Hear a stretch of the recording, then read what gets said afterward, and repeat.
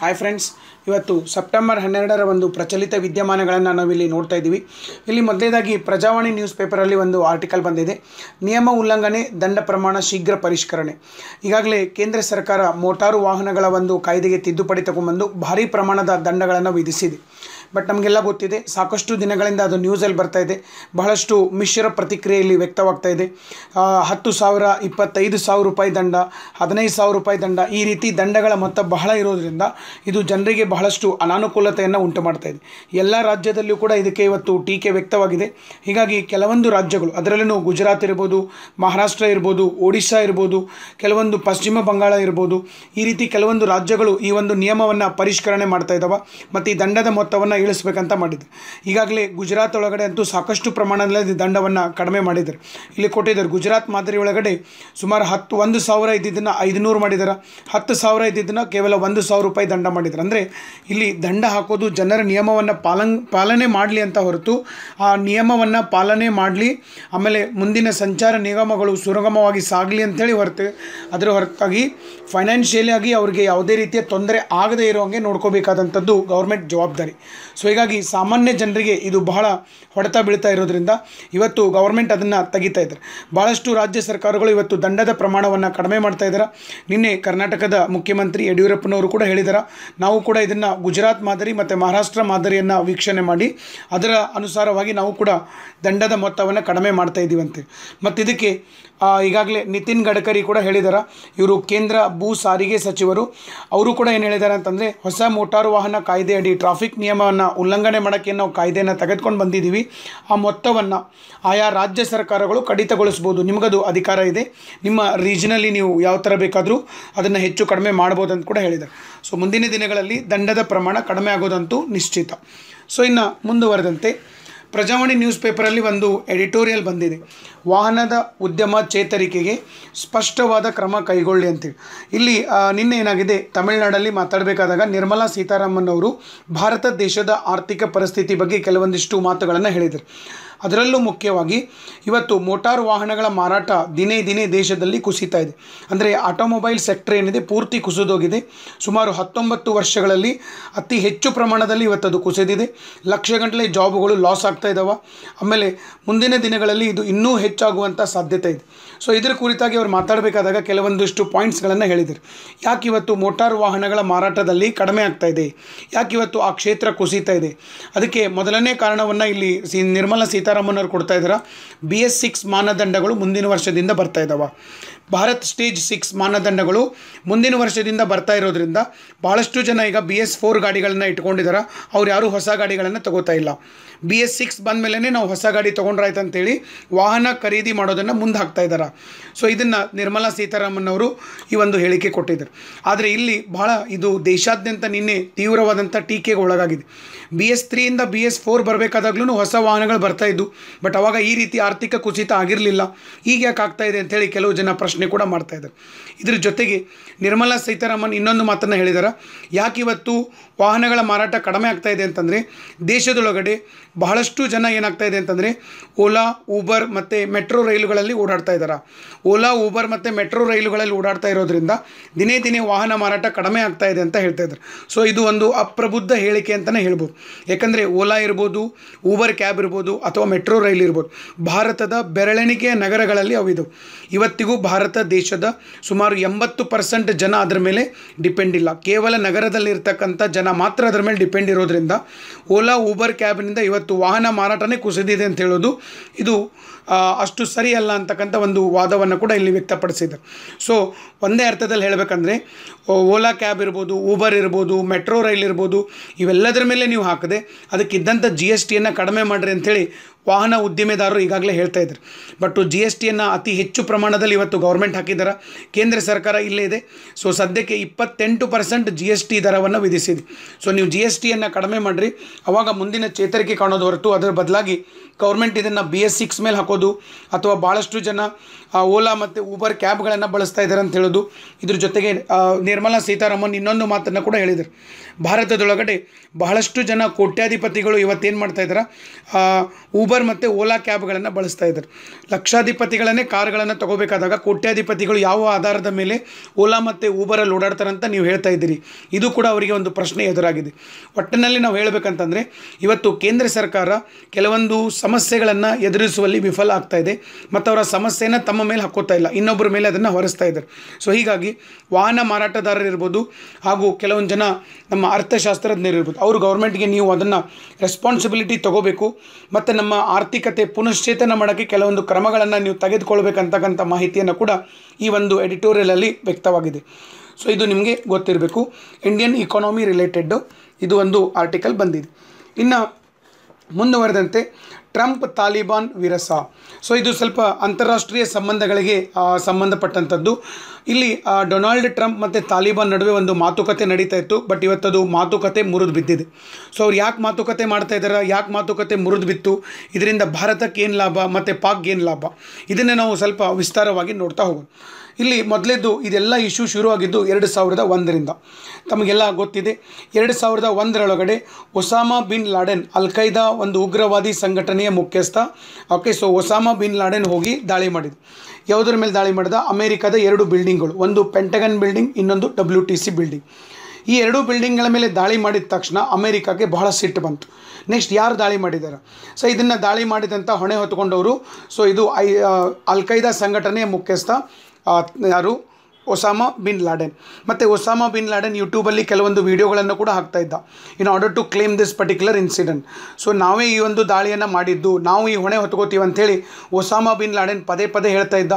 ಮತ್ತು ಅದರ ಜೊತೆಗೆ ಅಲ್ಕೈದಾದಿಂದ ಬರ್ತಕ್ಕಂಥ ಕೆಲವೊಂದು ಜರ್ನಲ್ಗಳಲ್ಲೂ ಕೂಡ ಅದು ಪ್ರಿಂಟ್ ಆಗಿತ್ತು.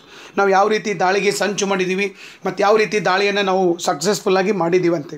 ಸೊ ಇದೆಲ್ಲದರಿಂದ ಅಮೇರಿಕ ಹಿಡ್ಕೊಂಡು ಇಡೀ ಜಗತ್ತಿಗೆ ಗೊತ್ತಾಯಿತು, ಈ ದಾಳಿಯನ್ನು ಮಾಡಿದ್ದು ಒಸಾಮಾ ಬಿನ್ ಲಾಡೆನ್ ಅಂತೆ ನೆಕ್ಸ್ಟು ಅಮೇರಿಕಾದ next target Osama bin Laden ಮತ್ತು ಅಲ್ ಖೈದಾ ಉಗ್ರವಾದಿ ಸಂಘಟನೆಯನ್ನು ಸಂಪೂರ್ಣವಾಗಿ ಬಗ್ಗುಬಡಿಬೇಕಂತೇಳಿ ಅವ್ರು ಮಾಡಿದ್ರು.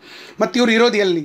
ಇವನಿರೋದು ಅಫ್ಘಾನಿಸ್ತಾನದಲ್ಲಿ ನೆಕ್ಸ್ಟು ಇಲ್ಲಿ ಅಮೇರಿಕ ತನ್ನ ಸೇನೆಯನ್ನು ಅಫ್ಘಾನಿಸ್ತಾನ್ಗೆ ಕಳಿಸಿದರು. ಅಫ್ಘಾನಿಸ್ತಾನ್ಗೆ ಕಳಿಸೋಕ್ಕಿಂತ ಮುಂಚೆ ಅಫ್ಘಾನಿಸ್ತಾನಲ್ಲಿ ಒಂದು ಗವರ್ಮೆಂಟ್ ಇತ್ತು, ತಾಲಿಬಾನ್ ಗವರ್ನಮೆಂಟ್.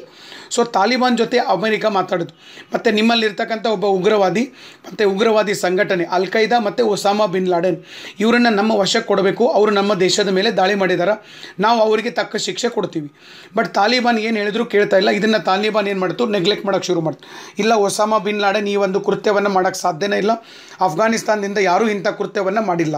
ಇದನ್ನು ಅಲ್ಲಗಳಕ್ಕೆ ಶುರು ಮಾಡೋದು ಒಂದು ಕಡೆ ಅಫ್ಘಾನಿಸ್ತಾನ್ ನಮ್ಮ ದೇಶದಿಂದ ಯಾರೂ ದಾಳಿ ಮಾಡಿಲ್ಲ ಅಂತ ಹೇಳ್ತಾ ಇದ್ದಾರೆ ಈ ಕಡೆಗೆ ಯೂಟ್ಯೂಬಲ್ಲಿ ವೀಡಿಯೋಸ್ ಬರ್ತಾ ಇದ್ದಾವೆ ಅಲ್ ಖೈದಾ ಮತ್ತು ಒಸಾಮಾ ಬಿನ್ ಲಾಡೆನ್ ಇವರು ವೀಡಿಯೋಗಳನ್ನು ಅಪ್ಲೋಡ್ ಮಾಡ್ತಾ ಇದ್ದಾರೆ ನಾವೇ ಈ ದಾಳಿ ಮಾಡಿದ್ದು ಅಂತೆ. ಸೊ ಈ ರೀತಿಯಾಗಿದ್ದರಿಂದ ಅಮೇರಿಕಕ್ಕೆ ಇನ್ನೂ ಸಿಟ್ಟು ಬರೋಕ್ಕೆ ಶುರುವಾಯಿತು. ಇಷ್ಟೆಲ್ಲ ಅವರೇ ತಾವೇ ಒಪ್ಕೋತಾ ಇದ್ದಾರೆ ನೀವು ಯಾವ ಥರ ನೆಗ್ಲೆಕ್ಟ್ ಮಾಡ್ತಾ ಇದ್ದೀರಿ? ಅದಕ್ಕೆ ಅಮೇರಿಕ ಒಂದು ನಿರ್ಧಾರಕ್ಕೆ ಬಂತು. ಇನ್ನು ನಾವು ಒಸಾಮಾ ಬಿನ್ ಲಾಡೆನ್ ವಿರುದ್ಧ ಏನೇ ಕ್ರಮ ಕೈಗೊಳ್ಳಬೇಕಾದರೂ ಕೂಡ ತಾಲಿಬಾನನ್ನು ಮೊದಲು ಹೊಡಿಬೇಕು. ತಾಲಿಬಾನ್ ಗೌರ್ಮೆಂಟನ್ನು ತೆಗೆದು ಹಾಕಬೇಕು ಆಮೇಲೆ ನಾವು ಅಲ್ ಖೈದಾ ಜೊತೆಗೆ ಹೋರಾಟಕ್ಕೆ ಇಳಿಬೇಕು. ಆವಾಗ ಅಮೇರಿಕ ಸುಮಾರು ಹದಿನೈದು ಸಾವಿರ ಜನ ಸೈನಿಕರನ್ನು ಅಫ್ಘಾನಿಸ್ತಾನ್ಗೆ ಕಳಿಸ್ತು. ಅಫ್ಘಾನಿಸ್ತಾನ್ ಮೇಲೆ ಒಂದು ವಿಮಾನ ದಾಳಿ ಮಾಡೋಕ್ಕೆ ಶುರು ಮಾಡಿದರು. ವಾಯು ದಾಳಿ ಶುರುವಾಯಿತು ಆವಾಗ ಅಫ್ಘಾನಿಸ್ತಾನಲ್ಲಿರ್ತಕ್ಕಂಥ ತಾಲಿಬಾನ್ ಮತ್ತು ಅಮೇರಿಕ ನಡುವೆ ಯುದ್ಧಗಳು ಶುರುವಾದವು ಎರಡು ಸಾವಿರದ ಒಂದರ, ಒಂದು ಇನ್ಸಿಡೆಂಟ್ ಹಿನ್ನೆಲೆ ಒಳಗಡೆ ಇದು ಶುರುವಾಯಿತು ಸೊ ತಾಲಿಬಾನನ್ನು ಹೊಡೆದು ಹಾಕಬೇಕು ತಾಲಿಬಾನನ್ನು ಸಂಪೂರ್ಣವಾಗಿ ನಿರ್ಣಾಮ ಮಾಡಬೇಕು. ಅದಾದಮೇಲೆ ನಾವು ಅಲ್ ಕೈದಾ ಮತ್ತು ಒಸಾಮಾ ಬಿನ್ ಲಾಡನ್ ಕೂಡ ಹೊಡಿಬೇಕಂತೇಳಿ ಅಮೇರಿಕಾ ಸೇನೆ ಹೋಯಿತು. ಬಟ್ ಎರಡು ಸಾವಿರದ ಒಂದರಿಂದ ಇವತ್ತು, ಎರಡು ಸಾವಿರದ ಹತ್ತೊಂಬತ್ತರವರೆಗೆ ಇವತ್ತಿಗೂ ಕೂಡ ಸುಮಾರು ಹದಿನಾಲ್ಕು ಸಾವಿರ ಸೈನಿಕರು, ಪ, ಅಮೇರಿಕಾದ ಸೈನಿಕರು ಇವತ್ತು ಕೂಡ ಅಫ್ಘಾನಿಸ್ತಾನದಲ್ಲಿದ್ದಾರೆ ಸೊ ಇಲ್ಲಿ ಇಷ್ಟು ದಿವಸದಲ್ಲಿ ಇವ್ರು ಏನು ಮಾಡಿದರು? ಇಲ್ಲಿ ಒಂದು ಏನಂತಂದರೆ ಸಕ್ಸಸ್ಫುಲ್ಲಾಗಿ ಅಲ್ ಖೈದಾ ಮುಖ್ಯಸ್ಥ ಒಸಾಮಾ ಬಿನ್ ಲಾಡೆನನ್ನು ಹೊಡೆದು ಹಾಕಿದರು. ಒಸಾಮಾ ಬಿನ್ ಲಾಡೆನ್ ಅಫ್ಘಾನಿಸ್ತಾನದಲ್ಲಿದ್ದಾನೆ ಅಂಥೇಳಿ ಅಮೇರಿಕಾದವರು ಹುಡುಕಾಡಿದ್ರು. ಬಟ್ ಅಮೇರಿಕಾದವರು ಅಫ್ಘಾನಿಸ್ತಾನ್ ಪೂರ್ತಿ ಸರ್ಚ್ ಮಾಡೋ ಟೈಮ್ ಒಳಗಡೆ ಇಡೀ ಅಫ್ಘಾನಿಸ್ತಾನನೇ ಬರ್ಬಾದ್ ಮಾಡಿದ್ದು ಬಟ್ ಅವನು ಅಫ್ಘಾನಿಸ್ತಾನದಲ್ಲಿ ಇರಲಿಲ್ಲ. ಅವನಿದ್ದಿದ್ದು ಪಾಕಿಸ್ತಾನ.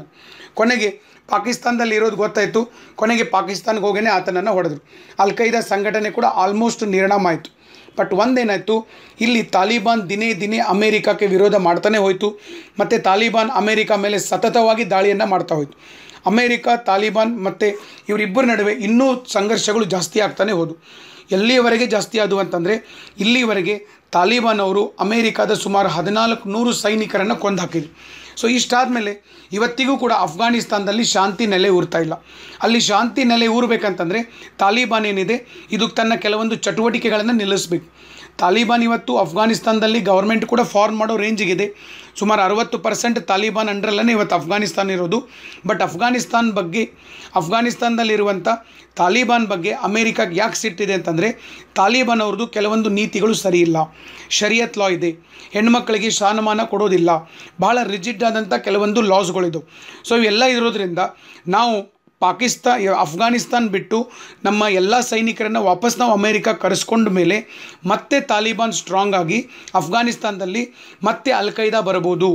ಮತ್ತೆ ಅಲ್ಲಿ ಇನ್ನೂ ಉಗ್ರವಾದಿ ಚಟುವಟಿಕೆಗಳು ಜೋರಾಗ್ತವೆ. ಮತ್ತು ಆ ಉಗ್ರವಾದಿ ಸಂಘಟನೆಗಳು ಮತ್ತೆ ಅಮೇರಿಕ ಮೇಲೆ ದಾಳಿ ಮಾಡ್ತಾರೆ ಅನ್ನೋ ಭಯ ಯಾರಿಗಿದೆ? ಅಮೇರಿಕಕ್ಕಿದೆ ಹಾಗಾಗಿ ಯಾವುದೇ ರೀತಿಯಿಂದ ಒಟ್ಟಿನಲ್ಲಿ ಅಫ್ಘಾನಿಸ್ತಾನದಲ್ಲಿ ಶಾಂತಿ ಸುವ್ಯವಸ್ಥೆ ಕಾಪಾಡಬೇಕು. ಹೀಗಾಗಿ ಮತ್ತು ಅಫ್ಘಾನಿಸ್ತಾನದಲ್ಲಿ ಶಾಂತಿ ಸುವ್ಯವಸ್ಥೆ ಬರಬೇಕಂದ್ರೆ ತಾಲಿಬಾನ್ ಜೊತೆ ಮಾತುಕತೆ ಮಾಡಲೇಬೇಕಂತಕ್ಕಂಥ ನಿರ್ಧಾರಕ್ಕೆ ಅಮೇರಿಕ ಬಂತು. ಸೊ ಅಮೇರಿಕಾ ಈಗ ತಾಲಿಬಾನ್ ಜೊತೆ ಮಾತಾಡಬೇಕು ಇದಕ್ಕೊಬ್ಬರು ಯಾರಾದರೂ ಮಧ್ಯಸ್ಥಿಕೆಯನ್ನು ವಹಿಸಬೇಕು. ಇವರಿಬ್ಬರನ್ನು ಒಂದು ಟೇಬಲಲ್ಲಿ ಕರೆದು ಕೂಡಿಸಿ ಮಾತುಕತೆ ನಡೆಸಬೇಕಂದ್ರೆ ಮೂರನೇ ವ್ಯಕ್ತಿಯ ಅವಶ್ಯಕತೆ ಇದೆ. ಸೊ ಈ ಮೂರನೇ ವ್ಯಕ್ತಿ ಇಬ್ಬರಿಗೂ ಪರಿಚಯದವರಾಗಿರಬೇಕು. ಸೊ ಈಗ ಅಂಥವ್ರು ಯಾರಿದಾರ? ಅಂಥವ್ರಿಗೆ ಸದ್ಯ ಇರುವಂಥ ಏಕೈಕ ದೇಶ ಪಾಕಿಸ್ತಾನ್. ಸೊ ಪಾಕಿಸ್ತಾನ ಏನಿದೆ? ತಾಲಿಬಾನ್ಗೆ ಬಹಳ ಕ್ಲೋಸ್ ಇರೋದು. ಪಾಕಿಸ್ತಾನ್ ಸೇನೆ ಮತ್ತು ತಾಲಿಬಾನ್ಗೆ ಬಹಳ ವರ್ಷದ ಒಂದು ನಂಟಿದೆ. ಮತ್ತು ಅವರು ವರಿ ಫ್ರೆಂಡ್ಸ್ ಕೂಡ ಇದ್ದರು. ಸೊ ಹೀಗಾಗಿ ಪಾಕಿಸ್ತಾನ ಏನು ಹೇಳಿದರು ಅಮೇರಿಕಾಕ್ಕೆ. ನಾವು ತಾಲಿಬಾನನ್ನು ಕರ್ಕೊಂಬರ್ತೀವಿ. ನಾವು ತಾಲಿಬಾನ್ ಕರ್ಕೊಂಬಂದು ಮಾತುಕತೆಯನ್ನು ನಡೆಸ್ತೀವಿ. ನೀವು ಮಾತುಕತೆ ಮಾಡಿ ಯಶಸ್ವಿಯಾಗ್ರಿ. ಇದನ್ನು ಪಾಕಿಸ್ತಾನ ಹೇಳಿದರು ನೀವು ಕೇಳ್ಬೋದು, ಸರ್, ಪಾಕಿಸ್ತಾನ ಯಾಕೆ ಇದನ್ನೆಲ್ಲ ಮಾಡ್ತಾ ಇದೆ? ಪಾಕಿಸ್ತಾನ ಯಾಕೆ ಮಾಡ್ತಾ ಇದೆ ಅಂತಂದರೆ, ಈ ರೀತಿ ಮಾಡೋದ್ರಿಂದ ನಾಳೆ ಒಂದು ಮಾತುಕತೆ ಸಫಲ ಆಯಿತು ಅಂತಂದರೆ ಪಾಕಿಸ್ತಾನ್ಗೆ ಒಂದು ರಿವಾರ್ಡ್ ಸಿಗುವಂಥದ್ದು ಅಮೇರಿಕಾ ಕಡೆಯಿಂದ. ಪಾಕಿಸ್ತಾನ್ಗೆ ಇನ್ನೂ ಹೆಚ್ಚಿನ ದುಡ್ಡನ್ನು ಕೂಡ ಅಮೇರಿಕಾ ಕೊಡೋದು ಮತ್ತು ಅಮೇರಿಕಾಕ್ಕೆ ಒಂದು ಏನು ಸ್ಟ್ರಾಂಗ್ ಆದಂಥ ಒಂದು ಸಪೋರ್ಟ್ ಅಮೇರಿಕದ್ದು ಪಾಕಿಸ್ತಾನ್ಗೆ ಸಿಗೋದು. ಮತ್ತು ಅಮೇರಿಕಾಗೆ, ಅಮೇರಿಕಾದ ಸಪೋರ್ಟ್ ಪಾಕಿಸ್ತಾನಕ್ಕೆ ಸಿಕ್ತು ಅಂತಂದರೆ ಅವರು ಭಾರತದ ವಿರುದ್ಧ ಮೇಲುಗೈ ಸಾಧಿಸೋರು. ಈ ಒಂದು ಎಲ್ಲ ದೃಷ್ಟಿಕೋನದಿಂದ ಪಾಕಿಸ್ತಾನ ಏನು ಮಾಡ್ತು? ನಾವು ಡೊನಾಲ್ಡ್ ಟ್ರಂಪ್ ಮತ್ತು ತಾಲಿಬಾನ್ ನಡುವೆ ಒಂದು ಮಾತುಕತೆಯನ್ನು ನಾವು ಏರ್ಪಡಿಸ್ತೀವಿ. ಇದನ್ನು ನಾವು ಇದನ್ನು ಜವಾಬ್ದಾರಿ ತಗೋತೀವಿ ಅಂತ ಮಾಡಿದ್ವಿ. ಸೊ ಸಾಕಷ್ಟು ಹಂತದ ಮಾತುಕತೆಗಳು ನಡೆದು, ಈ ಎಲ್ಲ ಮಾತುಕತೆ ನಡೆದಿದ್ದು ಅಮೆರಿಕಾದಲ್ಲೂ ಅಲ್ಲ, ಅಫ್ಘಾನಿಸ್ತಾನದಲ್ಲೂ ಅಲ್ಲ, ಪಾಕಿಸ್ತಾನದಲ್ಲೂ ಅಲ್ಲ. ಎಲ್ಲ ಮಾತುಕತೆಗೆ ಕಾರಣವಾದಂಥ ಸ್ಥಳ ಯಾವುದು ಅಂತಂದರೆ ದೋಹಾ, ಕತರ್ನ ರಾಜಧಾನಿ ದೋಹಾ. ಇದು ಅರಬ್ ವರ್ಲ್ಡಲ್ಲಿ ಬರುವಂಥ ಒಂದು ರಾಷ್ಟ್ರ, ಕತರ್. ಕತರ್ನ ರಾಜಧಾನಿ ದೋಹಾದಲ್ಲಿ ಸಾಕಷ್ಟು ಹಂತದ ಮಾತುಕತೆಗಳು ನಡೆದು, ಇಲ್ಲಿ ಕೆಲವು ಜನ ತಾಲಿಬಾನ್ನ ಮುಖ್ಯಸ್ಥರು ಕೂಡ ಈ ಒಂದು ಸಭೆ ಒಳಗಡೆ ಬಂದರು. ಸಾಕಷ್ಟು ಹಂತದ ಮಾತುಕತೆಗಳು ನಡೆದರೂ ಕೂಡ ಯಾವುದೇ ಕಾರಣಕ್ಕೆ ತಾಲಿಬಾನ್ ಅವರು ಒಂದು ಒಪ್ಪಂದಕ್ಕೆ ಬರಲಿಲ್ಲ. ಕೆಲವೊಂದು ಸಾರಿ ಆ ಒಂದು ಮೀಟಿಂಗ್ ನಡಿಬೇಕಾದ್ರೇ ಆ ಮೀಟಿಂಗ್ ನಡೀತಾ ಇದ್ದಕ್ಕಂಥ ಸ್ಥಳದಿಂದ ಕೇವಲ ಅರ್ಧ ಕಿಲೋಮೀಟರ್ ದೂರದಲ್ಲೇ ಬಾಂಬ್ಗಳ ದಾಳಿಗಳನ್ನು ಮಾಡಕತ್ತು. ಅದಕ್ಕೆ ಅಮೇರಿಕ ಹೇಳಿದರು, ನೀವು ಒಂದು ಮಾತುಕತೆ, ಶಾಂತಿ ಮಾತುಕತೆ ಮಾಡಬೇಕು, ಒಂದು ಇಲ್ಲ ಅಂತಂದರೆ ಭಯೋತ್ಪಾದನೆ ಮಾಡಬೇಕು ಒಂದು. ಎರಡೂ ಒಟ್ಟೊಟ್ಟಿಗಾಗಿ ನಡೆಯೋದಿಲ್ಲ. ನಾವು ಅದು ಆಗೋತನ ನಾವೇನು ಮಾಡೋದಿಲ್ಲ. ನಿಮ್ಮ ಜೊತೆ ಮಾತುಕತೆಗಳನ್ನು ಮಾಡೋದಿಲ್ಲ. ಸೊ ತಾಲಿಬಾನನ್ನು ಸರಿ ದಾರಿಗೆ ತೆಗೆದುಕೊಂಡು ಬಂದು, ನಮ್ಮ ಜೊತೆ ಮಾತುಕತೆಗೆ ನೀವು ಕರ್ಕೊಂಬರ್ಬೇಕಂತೇಳಿ ಅಮೇರಿಕ ಷರತ್ತನ್ನು ವಿಧಿಸಿತ್ತು ಪಾಕಿಸ್ತಾನ್ಗೆ. ಬಟ್ ಪಾಕಿಸ್ತಾನ್ಗೆ ಪದೇ ಪದೇ ಇದು ಸಾಧ್ಯ ಆಗಲೇ ಇಲ್ಲ. ಪಾಕಿಸ್ತಾನ್, ತಾಲಿಬಾನ್ನ ಒಂದು ಫ್ರೆಂಡ್ ಇದ್ದರೂ ಕೂಡ ಇದು ಸಾಧ್ಯ ಆಗಲಿಲ್ಲ. ಅದಕ್ಕೇ ಅಮೇರಿಕಾಗೆ ಪಾಕಿಸ್ತಾನ್ ಮೇಲೆ ಸಿಟ್ಟು ಬಂತು.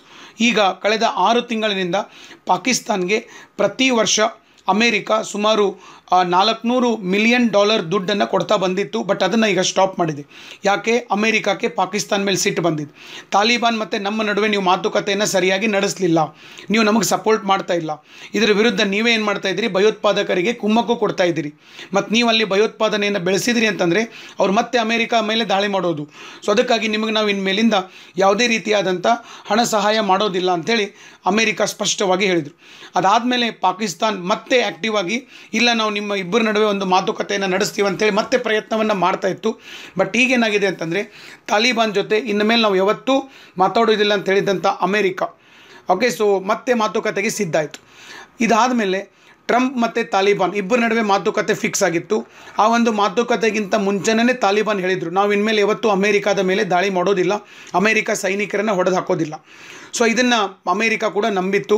ಬಟ್ ಕಳೆದ ವಾರನೇ ತಾಲಿಬಾನ್ ಮತ್ತೆ ಅಮೇರಿಕಾದ ಸೈನಿಕರ ಮೇಲೆ ದಾಳಿ ಮಾಡಿ ಸುಮಾರು ಜನ ಸೈನಿಕರನ್ನು ಕೊಂದಿದೆ ಹೀಗಾಗಿ ಇದು ಅಮೇರಿಕಾಗೆ ಸಿಕ್ಕಾಪಟ್ಟೆ ಸಿಟ್ಟು ಬಂದಿದೆ ಯಾಕಂದರೆ ಇದೇ ಡಿಸೆಂಬರ್ ಇಪ್ಪತ್ತರಿಂದ ಅಮೇರಿಕಾದಲ್ಲಿ ಚುನಾವಣೆ ನಡೀತಾ ಇದ್ದಾವೆ ಅಮೇರಿಕಾದ ಜನ ಕೂಡ ಡೊನಾಲ್ಡ್ ಟ್ರಂಪ್ ಅವ್ರನ್ನ ಕೇಳ್ತಾ ಇದ್ದರು ಸರ್, ಹದ್, ಎರಡು ಸಾವಿರದ ಒಂದರಿಂದ ಎರಡು ಸಾವಿರದ ಹತ್ತೊಂಬತ್ತರವರೆಗೆ ನೀವು ನಮ್ಮ ಸೇನೆಯನ್ನು ಅಲ್ಲಿ ನಿಯೋಗ ಮಾಡಿದ್ದೀರಿ. ನಾವು ಸುಮಾರು ಹದಿನಾಲ್ಕು ನೂರು ಜನ ಸೈನಿಕರನ್ನು ಕಳ್ಕೊಂಡಿದ್ದೀವಿ. ಇದರ ಜೊತೆಗೆ ಸುಮಾರು ಏಳ್ನೂರು ಮಿಲಿಯನ್ ಬಿಲಿಯನ್ ಡಾಲರ್ ಹಣವನ್ನು ನಾವು ಖರ್ಚು ಮಾಡಿದ್ದೀವಿ ಏಳ್ನೂರು ಬಿಲಿಯನ್ ಅಂತಂದರೆ ಸರ್ ಇದು ಬಹಳ ಬಹಳ ಅಧಿಕವಾದಂಥ ಮೊತ್ತ ಇದು. ಜಗತ್ತಿನಲ್ಲಿ ಎಷ್ಟೋ ದೇಶಗಳ total G D P value ಕೂಡ ಎಷ್ಟಿಲ್ಲ ಇಷ್ಟು ದುಡ್ಡನ್ನು ನಾವು ಯಾಕೆ ಅಫ್ಘಾನಿಸ್ತಾನ್ಗೆ ಖರ್ಚು ಮಾಡ್ತಾ ಇದ್ದೀವಿ ನಮ್ಮ ದೇಶದ ಸೈನಿಕರ ರಕ್ತ ಯಾಕೆ ಅಲ್ಲಿ ಹರಿತಾ ಇದೆ? ಇದರಿಂದ ನಮಗೇನು ಲಾಭ? ಇದನ್ನು ಪಾಕಿ, ಅಮೇರಿಕಾದ ಜನತೆ ಡೊನಾಲ್ಡ್ ಟ್ರಂಪ್ಗೆ ಕ್ವಶನ್ ಮಾಡ್ತಾ ಇದ್ದಾರೆ. ಸೊ ಹೀಗಾಗಿ ಅಫ್ಘಾನಿಸ್ತಾನದಲ್ಲಿರ್ತಕ್ಕಂಥ ಸೈನಿಕರನ್ನು ವಾಪಸ್ ಕರ್ಕೊಂಡು ಬರೋದು ಈಗ ಸದ್ಯ ಡೊನಾಲ್ಡ್ ಟ್ರಂಪ್ ಮುಂದೆ ಇರುವಂಥ ಪ್ರಥಮ ಪ್ರಾಶಸ್ತ್ಯ ಹಾಗಾಗಿ ಅಮೇರಿಕ ಈಗಾಗಲೇ ಹೇಳಿಬಿಟ್ಟಿದೆ, ಹದಿನಾಲ್ಕು ಸಾವಿರ ಟ್ರೂಪ್ ಇದಾರ, ಇದರೊಳಗಡೆ ಎಂಟು ಸಾವಿರ ಜನರು ನಾವು ಹೊಳ್ಳಿ ವಾಪಸ್ ಕರ್ಕೊಂಬರ್ತೀವಿ ಸೊ ಇನ್ನು ಉಳಿದಂತೆ ಅಫ್ಘಾನಿಸ್ತಾನದಲ್ಲಿ ಶಾಂತಿ ಸುವ್ಯವಸ್ಥೆ ನೆಲೆಗೊಳಿಸಬೇಕಾದಾಗ ಅಫ್ಘಾನಿಸ್ತಾನ್ ಗವರ್ಮೆಂಟ್ ಕೂಡ ಇದಕ್ಕೆ ಸ್ವಲ್ಪ ನಡು ಮಧ್ಯಸ್ಥಿಕೆ ವಹಿಸಬೇಕು. ಅಂದರೆ ಒಂದಿನಲ್ಲಿ ಏನಾಗಿದೆ, ಟ್ರಂಪು ಮತ್ತು ತಾಲಿಬಾನ್ ನಡುವೆ ಇದ್ದಂಥ ಒಂದು ಮಾತುಕತೆ ಇವತ್ತು ಮುರಿದು ಬಿದ್ದಿದೆ. ಇದು ಮುರಿದು ಬೀಳೋದ್ರಿಂದ ಪಾಕ್ ಪಾಕಿಸ್ತಾನಕ್ಕೆ ಮುಖಭಂಗ ಆಗಿದೆ. ಅದನ್ನೇ ಇಲ್ಲಿ ಕೊಟ್ಟಿದ್ದಾರೆ. ಪಾಕ್ಗೆ ಮುಖಭಂಗ. ನಾವು ನಿಮ್ಮಿಬ್ಬರ ನಡುವೆ ಈ ಒಂದು ಮಾತುಕತೆ ನಡೆಸೇ ನಡೆಸ್ತೀವಿ ಅಂತೇಳಿ ಪಾಕಿಸ್ತಾನ ಕೂತ್ಕೊಂಡಿದ್ರು, ಬಟ್ ಅದು ಇವತ್ತು ಸಾಧ್ಯ ಆಗಿಲ್ಲ. ಮತ್ತು ಈ ಥರ ಆಗಿರೋದ್ರಿಂದ, ಈ ಮಾತುಕತೆ ಮುರಿದು ಬಿದ್ದಿರೋದ್ರಿಂದ ನಮ್ಮ ದೇಶಕ್ಕೆ ಮಾತ್ರ ಬಹಳ ಲಾಭ ಆಗಿದೆ. ಯಾಕಂತಂದರೆ, ಈ ಮಾತುಕತೆ ಅಕಸ್ಮಾತ್ ಆಗಿತ್ತು, ಪಾಕಿಸ್ತಾನ್ ಮತ್ತು ಅಮೇರಿಕ ರಿಲೇಷನ್ಸ್ ಬಹಳ ಚೆನ್ನಾಗಾಗ್ಬಿಡ್ತಿದ್ದು ಪಾಕಿಸ್ತಾನ್ಗೆ ಅಮೇರಿಕ ಸಪೋರ್ಟ್ ಮಾಡ್ತಾ ಇತ್ತು. ಇದನ್ನೇ ಮುಂದಿಟ್ಕೊಂಡು ಪಾಕಿಸ್ತಾನ್, ಭಾರತದ ವಿರುದ್ಧ ಇನ್ನೂ ಕೆಲವೊಂದು ಕುತಂತ್ರಗಳನ್ನು ಮಾಡುವಂಥ ಚಾನ್ಸ್ ಇತ್ತು.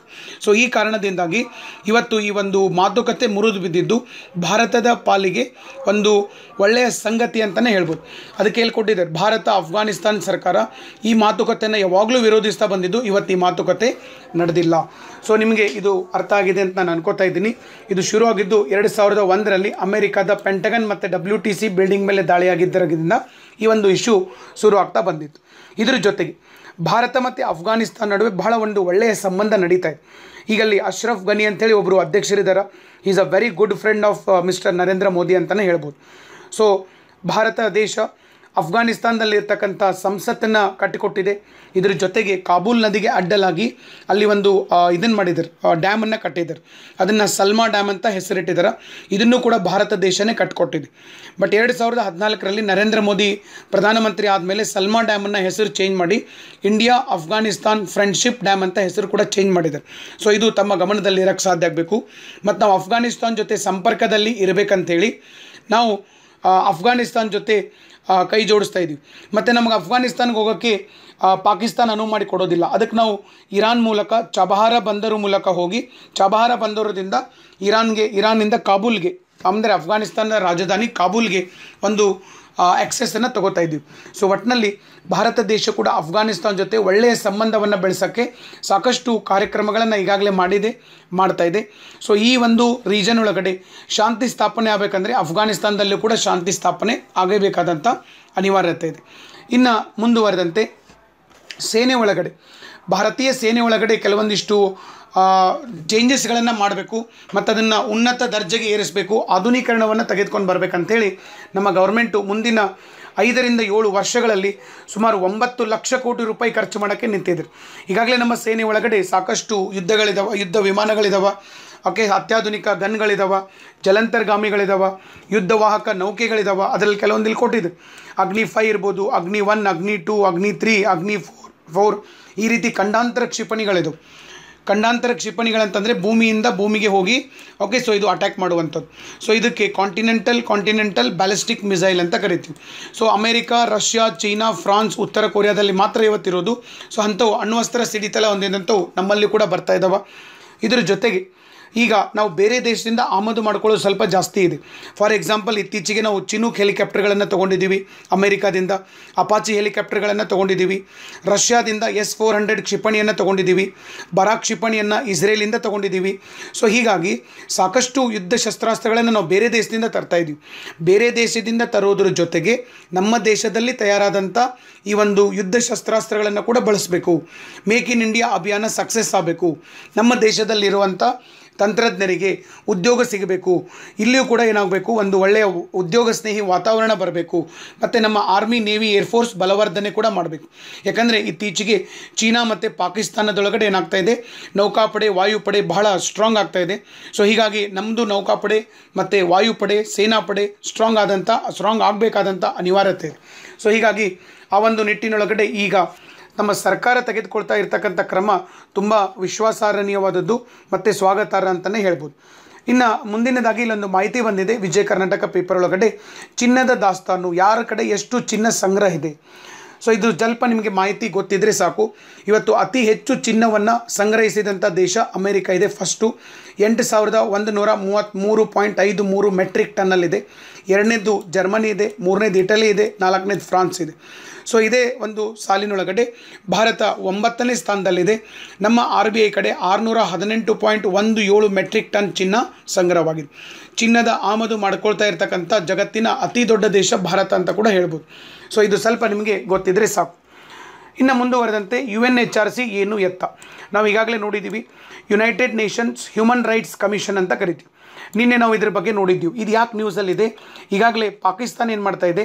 ನಾವು ಆರ್ಟಿಕಲ್ ತ್ರೀ ಸೆವೆಂಟಿ ಮತ್ತು ತರ್ಟಿ ಫೈ ಎಯನ್ನು ರದ್ದುಗೊಳಿಸಿದ್ರಿಂದ, ಜಮ್ಮು ಕಾಶ್ಮೀರದ ವಿಶೇಷ ಸ್ಥಾನಮಾನ ರದ್ದುಗೊಳಿಸಿದ್ರಿಂದಾಗಿ ಭಾರತದ ಮೇಲೆ ಸಿಟ್ ಮಾಡ್ಕೊಂಡಿದೆ.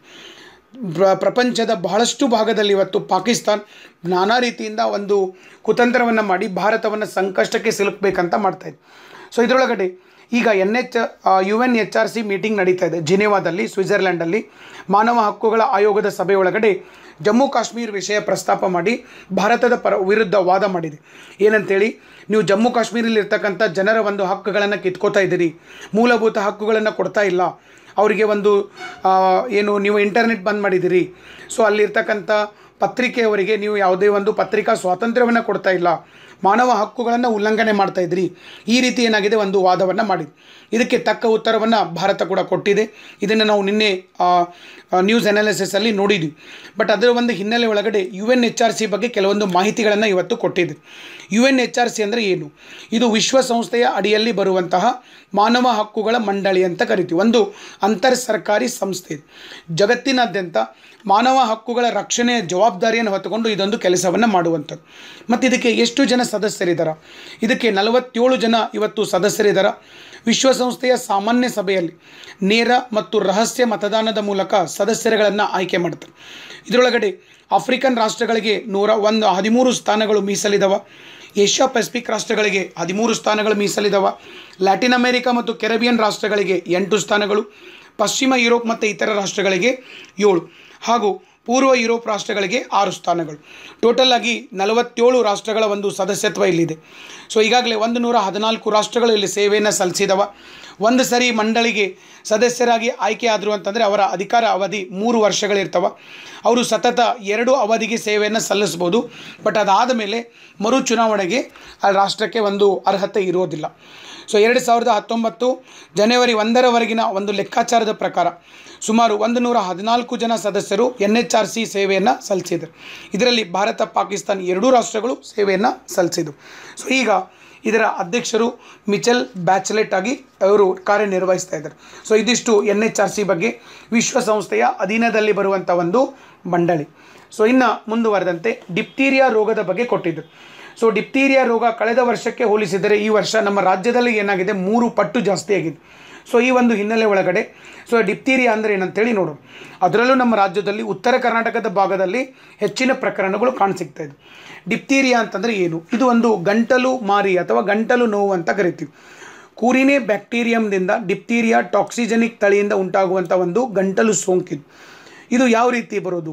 ಇದು ಒಂದು ಯಾವ ಮಗುವಿನಲ್ಲಿ ರೋಗ ನಿರೋಧಕ ಶಕ್ತಿ ಕಡಿಮೆ ಇರ್ತೈತೋ ಮತ್ತು ಯಾವ ಮಗು ಡಿಫ್ತೀರಿಯಾ ಲಸಿಕೆಯನ್ನು ಹಾಕಿಸಿಕೊಳ್ಳೋದಿಲ್ಲೋ ಸೊ ಸಮಯಕ್ಕೆ ಸರಿಯಾಗಿ ಚುಚ್ಚುಮದ್ದು ಹಾಕಿಸಿಕೊಳ್ಳೋದಿಲ್ಲೋ, ಆ ಒಂದು ಮಕ್ಕಳಲ್ಲಿ ಸೊ ಈ ಒಂದು ಏನು ರೋಗ ಕಾಣಸಿಗ್ತಾ ಇದೆ. ಈ ಬ್ಯಾಕ್ಟೀರಿಯಾ ಏನು ಮಾಡೋದು? ಬಾಯಿ ಮತ್ತು ಗಂಟಲಿನ ನರಗಳು ಮತ್ತು ಮಾಂಸಖಂಡಗಳನ್ನು ದುರ್ಬಲಗೊಳಿಸಿ ಕ್ರಿಯಾಹೀನಗೊಳಿಸ್ತಾ ಇದ್ದಾವೆ ಇದರಿಂದ ಮಾತು ನಿಂತು ಹೋಗ್ಬೋದು, ಉಸಿರಾಡಲು ಸಾಧ್ಯವಾಗದೆ ಹೋಗ್ಬೋದು, ಅಥವಾ ರೋಗಿಯ ಉಸಿರುಗಟ್ಟಿ ಸಾವನ್ನಪ್ಪುವಂಥ ಸಾಧ್ಯತೆಗಳು ಕೂಡ ಇದು ಗಂಟಲಲ್ಲಿ ಉತ್ಪತ್ತಿಯಾಗುವಂಥ ಟಾಕ್ಸಿನ್ ರಕ್ತದಲ್ಲಿ ಸೇರೋದು ಇದು. ರಕ್ತದಲ್ಲಿ ಸೇರಿ ಹೃದಯ, ಮೂತ್ರಪಿಂಡ, ದೇಹದ ಇತರ ಅಂಗಗಳನ್ನು ಕೂಡ ವಿಫಲಗೊಳಿಸುವಂಥದ್ದು. ಮತ್ತು ಈ ರೋಗದ ಲಕ್ಷಣಗಳೇನು? ಇದರಲ್ಲಿ ಗಂಟಲು ನೋವು ಬರ್ಬೋದು, ನುಂಗಲು ತೊಂದರೆ ಆಗ್ಬೋದು, ಸ್ವಲ್ಪ ಜ್ವರ ಬರ್ಬೋದು, ಅಥವಾ ಡಿಫಿಕಲ್ಟಿ ಇನ್ ಬ್ರೀದಿಂಗ್ ಉಸಿರಾಟದಲ್ಲಿ ತೊಂದರೆ ಆಗ್ಬೋದು. ಓಕೆ ಸೊ ಅಥವಾ ಮೂಗಿನ ಮೂಲಕ ಕೆಲವೊಂದು ದ್ರವಗಳು ಹೊರಗಡೆ ಬರ್ಬೋದು. ಸೊ ತೀವ್ರ ಪ್ರಮಾಣದ ಜ್ವರ ಕೂಡ ಬರ್ಬೋದು.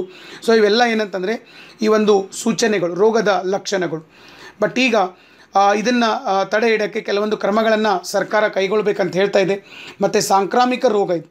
ಇದು ಸಾಂಕ್ರಾಮಿಕ ರೋಗ. ಏರ್ ಬೋರ್ನ್ ಡ್ರಾಪ್ಲೆಟ್ಸಿಂದ ಕೂಡ ಇದು ಬರ್ಬೋದು. ಕಂಟ್ಯಾಮಿನೇಟೆಡ್ ಪರ್ಸೊನೇಟೆಡ್ ಪರ್ಸನಲ್ ಐಟಮ್ಸ್ ಕೆಲವೊಂದು ನಮ್ಮ ವೈಯಕ್ತಿಕವಾದಂತಹ ಒಂದು ವಸ್ತುಗಳನ್ನು ಒಬ್ಬರು ವಸ್ತು ಇನ್ನೊಬ್ಬರು ಬಳಸೋದ್ರಿಂದ ಕೂಡ ಇದು ಬರ್ಬೋದು. ಮತ್ತು ಮನೆ ಬಳಕೆ ವಸ್ತುಗಳನ್ನು ಕೂಡ ಒಬ್ಬರು ಇನ್ನೊಬ್ಬರದನ್ನು ಬಳಸೋದ್ರಿಂದ ಕೂಡ ಇದು ಬರ್ಬೋದು. ಸೊ ಈಗ ಕಳೆದ ಎರಡು ವರ್ಷದಲ್ಲಿ ರಾಜ್ಯದಲ್ಲಿ ಮೂರು ಪಟ್ಟಿದು ಜಾಸ್ತಿಯಾಗಿದೆ. ಅದರಲ್ಲೂ ಉತ್ತರ ಕರ್ನಾಟಕ ಭಾಗದಲ್ಲಿ ಇದು ಬಹಳ ಜಾಸ್ತಿ ಇದೆ. ಅದಕ್ಕೆ ಕಾರಣ ಸಂತಾನ, ಇಲ್ಲಿ ಉತ್ತರ ಕರ್ನಾಟಕ ಭಾಗದಲ್ಲಿ ಜನ ಹೆಚ್ಚುತ್ತಿರುವಂಥ ವಲಸೆಯ ಪ್ರವೃತ್ತಿ. ಬೇರೆ ಬೇರೆ ಕಡೆ ಹೋಗ್ತಾರೆ, ಇದರಿಂದ ಅಲ್ಲಿಂದ ಅಲ್ಲಿಗೆ ಒಂದು ವೈರಸ್ ಟ್ರಾನ್ಸ್ಫರ್ ಆಗುವಂಥ ಸಾಧ್ಯತೆಗಳಿರೋದು. ಸಂತಾನೋತ್ಪತ್ತಿಯ ಪ್ರಮಾಣ, ಕಡಿಮೆ ಆರೋಗ್ಯ ಕಾಳಜಿಯಂಥ ಅಂಶಗಳು, ಮತ್ತು ಮಕ್ಕಳಿಗೆ ಸೂಕ್ತ ಸಮಯಕ್ಕೆ ಲಸಿಕೆಯನ್ನು ಹಾಕಿಸದೇ ಇರೋದು. ಸೊ ಇವೆಲ್ಲ ಕಾರಣದಿಂದ ಇವತ್ತು ಡಿಫ್ತೀರಿಯಾ ರೋಗ ಬೆಳೀತಾ ಇದೆ. ಸೊ ಆದಷ್ಟು ಬೇಗ ಕೇಂದ್ರ ಕೇಂದ್ರ ಸರ್ಕಾರ, ರಾಜ್ಯ ಸರ್ಕಾರ ಇದಕ್ಕೊಂದು ನೀತಿಯನ್ನು ಮಾಡಬೇಕಂತೇಳಿ ಇಲ್ಲಿ ಒಂದು ಆಶಯ ಕೂಡ ವ್ಯಕ್ತವಾಗಿದೆ. ಇನ್ನು ಮುಂದುವರೆದಂತೆ one liner current affairs central government setup four sixty two Eklavya school Eklavya ಶಾಲೆಗಳನ್ನು ತೆಗಿತಾ ಇದ್ದಾರೆ? ಸೊ ಏಕಲವ್ಯ ಶಾಲೆ ಯಾಕಂತಂದರೆ ಇದು ಟ್ರೈಬಲ್ ಸ್ಟೂಡೆಂಟ್ಸ್ಗೆ ಸೊ ಆದಿವಾಸಿ ಜನಾಂಗದ ಮಕ್ಕಳಿಗೆ ಈ ಒಂದು ರಿಮೋಟ್ ಏರಿಯಾದಲ್ಲಿ ಏನಿರ್ತಾರೆ, ಅವ್ರಿಗೆ ಇದನ್ನು ಒಂದು ಸ್ಕೂಲನ್ನು ತೆಗಿತಾ ಇದ್ದಾರೆ? ನಾಲ್ಕುನೂರ ಅರವತ್ತೆರಡು ಸ್ಕೂಲ್ಗಳನ್ನು ಓಪನ್ ಮಾಡಬೇಕಂತ ಮಾಡಿದ್ದಾರೆ. ಸೊ ದಸ್ ಹಫ್ತೆ, ದಸ್ ಬಜೆ, ದಸ್ ಮಿನಿಟ್ ಅಂತಕ್ಕಂಥ ಒಂದು ಕಾರ್ಯಕ್ರಮ ಕೂಡ ಈಗಾಗಲೇ ಡೆಲ್ಲಿ ಚೀಫ್ ಮಿನಿಸ್ಟರ್ ಮಾಡ್ತಾ ಇದ್ದಾರೆ this is the campaign against dengue so ಈಗ ನಮಗೆ ಗೊತ್ತಿದೆ ದೆಹಲಿ ಕಡೆ ಇವತ್ತು ತೇವಾಂಶ ಜಾಸ್ತಿ ಆಗ್ತಾ ಇದೆ. ತೇವಾಂಶ ಹೆಚ್ಚಾದಾಗ ಇದು ವೈರಸ್ಗಳು ಬೆಳಕೆ ಹೇಳಿ ಮಾಡಿಸಿದಂಥ ಒಂದು ವಾತಾವರಣ ಅಂತ ಹೇಳ್ಬೋದು. ಸೊ ಹೀಗಾಗಿ ಡೆಂಗು ಬರುವಂಥ ಸಾಧ್ಯತೆಗಳಿದಾವೆ. ಅದರ ವಿರುದ್ಧ ಒಂದು ಕ್ಯಾಂಪೇನನ್ನು ಶುರು ಮಾಡಿದ್ದಾರೆ. ದೆಹಲಿಯ ಮುಖ್ಯಮಂತ್ರಿ ಅರವಿಂದ್ ಕೇಜ್ರಿವಾಲ್. ಡೆಂಗಿ ಬರೋದು ಏಡಿಸ್ ಈಜಿಪ್ತಿ ಅಂತಕ್ಕಂಥ ಒಂದು ಸೊನ್ನೆ ಸೊಳ್ಳೆಯ ಮೂಲಕ. Next P M Modi to launch national animal disease control programme in Mathura ಪ್ರಧಾನಮಂತ್ರಿ ನರೇಂದ್ರ ಮೋದಿಯವರು ಒಂದು ಅನಿಮಲ್ ಡಿಸೀಸ್ ಕಂಟ್ರೋಲ್ ಪ್ರೋಗ್ರಾಮನ್ನು ನಿನ್ನೆ ಇದನ್ನು ಓಪನ್ ಮಾಡಿದ್ದಾರೆ ಸೊ ಅದ್ರ ಬಗ್ಗೆ ನಾವು ನಾಳೆ ವಿಡಿಯೋದಲ್ಲಿ ಡಿಸ್ಕಸ್ ಮಾಡೋಣ. ಸೊ ಅಲ್ಲಿ ಈಗಾಗಲೇ ಸಾಕಷ್ಟು ಹಸುಗಳಿಗೆ ಬರ್ತಾ ಇರತಕ್ಕಂಥ ಕಾಲು ಬಾಯಿ ರೋಗದ ಬಗ್ಗೆ ಕೂಡ ಒಂದು ಕನ್ಸರ್ನ್ ವ್ಯಕ್ತವಾಗಿದೆ ಅಂತ ಹೇಳ್ಬೋದು. Vikramnath sworn in as a chief justice of Gujarat high court Indian students will be allowed to stay in U K for two years after graduating ಇದು ಪ್ರಜಾವಣೆಯಲ್ಲೂ ಬಂದಿದೆ. ಗ್ರ್ಯಾಜುಯೇಷನ್ ಮುಗಿದ ನಂತರ, ಅವರ ಪದವಿ ಶಿಕ್ಷಣ ಮುಗಿದ ನಂತರ ಎರಡು ವರ್ಷ ಅವರು ಯುರೋಪಲ್ಲಿ ಇರ್ಬೋದು. So Knight Frank India released Asia Pacific co living index co living index ಬಂದಿದೆ. ಇದರೊಳಗಡೆ ರ್ಯಾಂಕಿಂಗ್ ಯಾವ ರೀತಿ ಇದೆ? ಸೊ ಬೀಜಿಂಗು ಏಷ್ಯಾದಲ್ಲೇ ಟಾಪ್ ರ್ಯಾಂಕಲ್ಲಿದೆ Asia ಪೆಸಿಫಿಕಲ್ಲಿ Tokyo is in second rank Tokyo capital city of Japan Shanghai ಮೂರನೇ ಸ್ಥಾನದಲ್ಲಿದ್ದರೆ ಹಾಂಗ್ಕಾಂಗ್ ನಾಲ್ಕನೇ ಸ್ಥಾನದಲ್ಲಿದೆ. ನಮ್ಮ ಮುಂಬೈ ಐದನೇ ಸ್ಥಾನದಲ್ಲಿದೆ, ಮತ್ತು ನಮ್ಮ ಡೆಲ್ಲಿ ಹನ್ನೊಂದನೇ ಸ್ಥಾನದಲ್ಲಿ, ಮತ್ತು ನಮ್ಮ ಬೆಂಗಳೂರು ಹತ್ತೊಂಬತ್ತನೇ ಸ್ಥಾನದಲ್ಲಿ ಇದೆ. India ranked fourth in global malaria malaria cases in two thousand seventeen. Lancet ಅವರು ಒಂದು ರಿಪೋರ್ಟನ್ನು ಕೊಟ್ಟಿದ್ದರು. ಈ ರಿಪೋರ್ಟ್ ಪ್ರಕಾರ ಭಾರತ ದೇಶ ಗ್ಲೋಬಲ್ ಮಲೇರಿಯಾ ಕೇಸಲ್ಲಿ ನಾಲ್ಕನೇ ಸ್ಥಾನದಲ್ಲಿದೆ. So next India has the highest suicide rate in South East Asia W H O so world health organisation ಅವ್ರು ಹೇಳಿದಾರೆ, ಇಡೀ ಜಗತ್ತಿನೊಳಗಡೆ ಭಾರತದಲ್ಲೇ ಅತಿ ಹೆಚ್ಚು ಇವತ್ತು ಸುಸೈಡ್ ನಡೀತಾ ಇದ್ದಾವೆ ಜಗತ್ತಿನಲ್ಲೆಲ್ಲ ಸಾರಿ ಸೌತ್ ಈಸ್ಟ್ ಏಷ್ಯಾದಲ್ಲಿ ಅಂದರೆ ಪೂರ್ವ ಏಷ್ಯಾದಲ್ಲಿ ಇವತ್ತು ನಡೀತಾ ಇದ್ದು. ಇದರ next Karachi is the second highest consumer of cannabis in the world report cannabis ಅಂತಂದರೆ ಏನು? ಇದು ಮರಿಜುವಾನ ಪ್ಲ್ಯಾಂಟಿಂದ ಬರುವಂಥದ್ದು ಒಂದು ಸೈಕೋ ಆ್ಯಕ್ಟಿವ್ ಡ್ರಗ್ ಅಂತ ಹೇಳ್ಬೋದು. ಸೊ ಇದೊಂದು ಮಾದಕ ಒಂದು ವಸ್ತು ಅಂತ ಹೇಳ್ಬೋದು. ಸೊ ಇದನ್ನು ಹೈಯೆಸ್ಟು ಸೆಕೆಂಡ್ ಹೈಯೆಸ್ಟ್ ಇದನ್ನು ತಗೋತಾ ಇರೋದು ಕರಾಚಿ ಒಳಗಡೆ ಅಂತ ರಿಪೋರ್ಟ್ ಬಂದಿದೆ. ಥರ್ಡ್ ಹೈಯೆಸ್ಟ್ ಇರೋದು ಡೆಲ್ಲಿ ಸಿಕ್ಸ್ತ್ ಇರೋದು ಮುಂಬೈ ನೆಕ್ಸ್ಟು ಆ ಒಂದು ಹೆಲ್ತ್ ಕೇರ್ ಸಿಸ್ಟಮ್ ಬಗ್ಗೆ ಬಂದಿದೆ. ಸಿ ಒ ವರ್ಲ್ಡ್ ಅಂತಕ್ಕಂಥ ಒಂದು ರಿಪೋರ್ಟ್ ಬಂದಿದೆ. ಈ ರಿಪೋರ್ಟ್ ಪ್ರಕಾರ ಇಡೀ ಜಗತ್ತಿನೊಳಗಡೆ ಅತಿ ಬೆಸ್ಟ್ ಆದಂಥ ಒಂದು ಹೆಲ್ತ್ ಕೇರ್ ಸಿಸ್ಟಮ್ ಇರೋದು ತೈವಾನಲ್ಲಿ ಸೆಕೆಂಡ್ ಇರೋದು ಸೌತ್ ಕೊರಿಯಾದಲ್ಲಿ ನೆಕ್ಸ್ಟು ಥರ್ಡ್ ಇರೋದು ಜಪಾನ್. ನೆಕ್ಸ್ಟು ಬರೋದು ಆಸ್ಟ್ರಿಯಾ, ನಾಲ್ಕನೇ ಸ್ಥಾನದಲ್ಲಿದೆ Venezuela named the world worst health care system in two thousand nineteen ವೆನೆಜುವೆಲಾದಲ್ಲಿ ಇಡೀ ಜಗತ್ತಿನಲ್ಲೇ ಬಹಳ ಅಪಾಯಕಾರಿಯಾದಂಥ ಆರೋಗ್ಯ ಒಂದು ವ್ಯವಸ್ಥೆ ಇದೆ ಅಂತ ಹೇಳಿದರು. ವೆನೆಜುವೆಲಾ ಬರೋದು ದಕ್ಷಿಣ ಅಮೆರಿಕಾ ಖಂಡದಲ್ಲಿ. Government launched C H C farm machinery mobile app for farmers BEST launches BEST Pravas mobile app for passengers so ಪ್ಯಾಸೆಂಜರ್ಗೆ ಕೆಲವೊಂದು ಆ್ಯಪ್ಗಳನ್ನು ಮಾಡೋದ್ರ ಮೂಲಕ ಅನುವು ಮಾಡಿ ಕೊಡ್ತಾ ಇದ್ದಾರೆ ಗೌರ್ಮೆಂಟ್ ಅವರು. ಸಾಕಷ್ಟು ಗೌರ್ಮೆಂಟ್ ಆ್ಯಪ್ಗಳು ಬರ್ತಾ ಇದ್ದಾವೆ ಸೊ ಅದ್ರ ಬಗ್ಗೆ ಸ್ವಲ್ಪ ನಿಮಗೆ ಗೌರ್ಮೆಂಟ್ ನಿಮಗೆ ಲಕ್ಷ್ಯ ಇರೋಕ್ಕೆ ಸಾಧ್ಯ ಆಗಬೇಕು. ಯು ಪಿ ಪೊಲೀಸ್ ಕೂಡ ಒಂದು ನ್ಯೂ ಒಂದು ಇನಿಷಿಯೇಟಿವನ್ನು ತೊಗೊಂಡಿದ್ದಾರೆ ಒಂದು ಆ್ಯಪನ್ನು ತೊಗೊಂಡಿದ್ದಾರೆ ಸಿ ಪ್ಲ್ಯಾನ್ ಅಂತ ಮಾಡಿದ್ದಾರೆ. ಯಾವುದಕ್ಕಿದು ಕಮ್ಯುನಿಟಿ ಪೊಲೀಸಿಂಗ್ ಅಂದರೆ ಒಂದು ಸ್ಥಳದಲ್ಲಿ ಏನಾದರೂ ಗೋಮು ಗಲಭೆ ಆಗ್ತಾ ಇದ್ರೆ ಅಥವಾ ಯಾವುದಾದ್ರೂ ಸುಳ್ಳು ಸುದ್ದಿಗಳು ಹರಡ್ತಾ ಇದ್ರೆ ಇದ್ರ ಬಗ್ಗೆ ಒಂದು ಕಮ್ಯುನಿಟಿ ಪೊಲೀಸಿಂಗ್ ಅಂತೇಳಿ ಸಿ ಪ್ಲ್ಯಾನ್ ಅಂತ ಒಂದು ಆ್ಯಪ್ ಕೂಡ ಮಾಡಿದ್ರು. ಇದನ್ನು ಪೊಲೀಸರ ಗಮನಕ್ಕೆ ತರಕ್ಕೆ. So Delhi government launches constitution at seventy campaign for students next B C C I partners with A I R All India Radio to provide the live radio commentary B C C I ಇವ್ರ ಜೊತೆ live commentary ಕೊಡೋಕ್ಕೆ ಒಂದು ಒಪ್ಪಂದವನ್ನು ಮಾಡ್ಕೊಂಡಿದ್ದು P M Modi to inaugurate India second multi modal terminal in Jharkhand so ಇತ್ತೀಚೆಗೆ ವಾರಣಾಸಿಯಲ್ಲಿ ಕೂಡ ಮಾಡಿದರು. ಎರಡನೇದು ಎಲ್ಲಿ ನಡೀತಾ ಇದೆ? ದಟ್ ಈಸ್ ಇನ್ ಜಾರ್ಖಂಡಲ್ಲಿ ಮಲ್ಟಿ ಮೋಡಲ್ ಟರ್ಮಿನಲನ್ನು ಮಾಡ್ತಾ ಇದ್ದಾರೆ. So Uttarakhand sets target to double agricultural export by two thousand twenty four ಅಂದರೆ ಕೃಷಿ ಒಳಗಡೆ ಇನ್ನೂ ಹೆಚ್ಚಿನದನ್ನು ಸಾಧಿಸಬೇಕು. ಉತ್ತರ ಪ್ರದೇಶದ ಒಂದು ಕೃಷಿಕರ ಏನು ಟಾರ್ಗೆಟ್ ಇದೆ ಎಕ್ಸ್ಪೋರ್ಟ್ ಟಾರ್ಗೆಟ್ ಇದೆ. ಅದನ್ನು ಡಬಲ್ ಮಾಡಬೇಕಂತೇಳಿ ಎರಡು ಸಾವಿರದ ಇಪ್ಪತ್ನಾಲ್ಕಕ್ಕೊಂದು ಗುರಿಯನ್ನು ಹಾಕ್ಕೊಂಡಿದ್ರು Rajnath Singh to visit France next month to take the delivery of Rafale so ಇದೇ ನಮಗೆ ಅಷ್ಟು ಅವಶ್ಯಕತೆ ಇಲ್ಲ ಬಟ್ ರಫೇಲ್ ಯುದ್ಧ ವಿಮಾನಗಳನ್ನು ನಾವು ತರ್ತಾ ಇರೋದು ಎಲ್ಲಿಂದ ಫ್ರಾನ್ಸಿಂದ ಅನ್ನೋದು ತಮಗೆ ಗೊತ್ತಿರಬೇಕು. ಸೊ ಇವತ್ತಿನ ಡಿಸ್ಕಷನ್ ಒಳಗಡೆ ನಾವು ಇದನ್ನು ನೋಡಿದ್ದೀವಿ ಸೊ ಮುಂದಿನ ಒಂದು ಡಿಸ್ಕಷನ್ ಒಳಗಡೆ ಇನ್ನೂ ಹೆಚ್ಚಿನ ಮಾಹಿತಿಯೊಂದಿಗೆ ನಾವು ನಿಮ್ಮನ್ನು ಕಾಣಿಸಿಕ್ತೀವಿ ಸೊ ಕನ್ನಡ ಮಾಧ್ಯಮದಲ್ಲಿ ಎಲ್ಲ ರೀತಿಯ ಪ್ರಚಲಿತ ಇದು ಕಾಂಪಿಟೇಟಿವ್ ಎಕ್ಸಾಮ್ಗೆ ಪ್ರಚಲಿತ ವಿದ್ಯಮಾನಗಳನ್ನು ನಾವು ಕೊಡ್ತಾ ಬರ್ತಾ ಇದ್ದೀವಿ. ಆಫೀಸರ್ಸ್ ಅಡ್ಡ ಟೆಲಿಗ್ರಾಮ್ ಚಾನಲ್ ಇರ್ಬೋದು ಯೂಟ್ಯೂಬ್ ಚಾನಲ್ ಇರ್ಬೋದು, ನಾವು ಮಾಹಿತಿಯನ್ನು ಕೊಡ್ತಾ ಇದ್ದೀವಿ. ಸೊ ಅದನ್ನು ತಾವು ಸದುಪಯೋಗ ಪಡಿಸ್ಕೊಳ್ತಾ ಇದ್ದೀರಿ. ಇತರರಿಗೂ ಈ ಒಂದು ಚಾನಲ್ ಬಗ್ಗೆ ಹೇಳಬೇಕು. ಅವರು ಸಬ್ಸ್ಕ್ರೈಬರ್ ಆಗೋ ಥರ ತಾವು ಗಮನವಹಿಸಬೇಕು ಸೊ ಹೆಚ್ಚು ಜನ ಸಬ್ಸ್ಕ್ರೈಬರ್ ಆದರೆ ಅದೇ ನೀವು ನಮಗೆ ಕೊಡುವಂಥ ಒಂದು ಪ್ರೋತ್ಸಾಹ ಅಂತ ನಾನು ಈ ಸಂದರ್ಭದಲ್ಲಿ ಹೇಳ್ತಾ ಇದ್ದೀನಿ. ಈ ಒಂದು ವಿಡಿಯೋ ನೋಡಿದ್ದಕ್ಕಾಗಿ ಎಲ್ಲರಿಗೂ ಧನ್ಯವಾದಗಳು. Wish you all the very best. Thank you all.